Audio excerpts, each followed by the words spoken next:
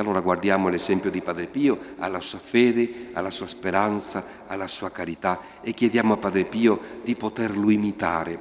Non ci limitiamo solo a chiedere quella grazia che tutti chiediamo, ovviamente anch'io vado da Padre Pio a chiedere la guarigione di una persona cara, di un parente, di una persona che si affida alle nostre preghiere. Certamente lo facciamo tutti, ma oltre quello chiediamo a Padre Pio di poterlo imitare, di mettere in pratica i suoi esempi e i suoi insegnamenti.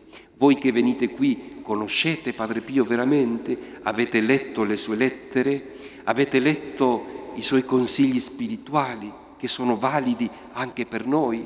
Allora sì che possiamo essere figli spirituali di Padre Pio. Giungono tante lettere anche dall'estero dicendoci che cosa dobbiamo fare per diventare figli spirituali di Padre Pio?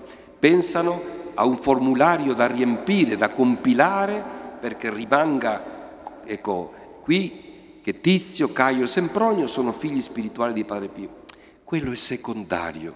Dobbiamo sforzarci di imitare Padre Pio nelle sue virtù, nella sua fede, nella sua speranza, nella sua carità e di mettere in pratica i suoi insegnamenti, la preghiera, la vita cristiana integra, coerente con la nostra fede. Allora sì saremo figli spirituali di Padre Pio e come lui ci diceva non gli faremo fare brutta figura, perché lui ci accettava, ma ci diceva però non mi far fare brutte figure, cioè comportati bene, sii buon cristiano.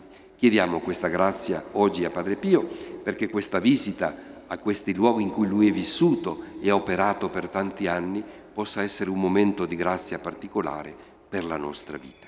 Sia lodato Gesù Cristo.